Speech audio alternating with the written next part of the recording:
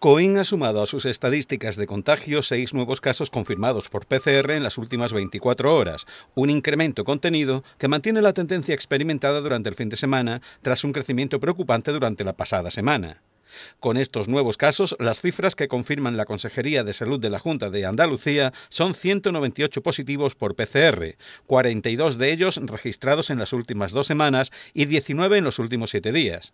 El número total de positivos es desde el inicio de la pandemia de 217 casos.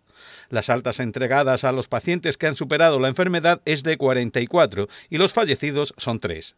Desde ayer, la Junta incluye en sus estadísticas la tasa de positivos por Por cada 100.000 habitantes. Coín se sitúa en 189,6 positivos, un dato muy elevado, ya que es más de 25 puntos mayor que la media de la provincia de Málaga.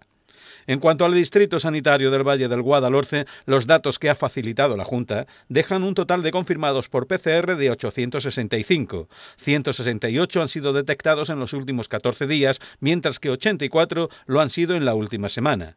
El total de casos confirmados en el Guadalhorce es de 979. Se han curado 282 pacientes y han muerto 33 personas. La tasa de positivos por PCR por 100.000 habitantes es en nuestro distrito sanitario de 109,6.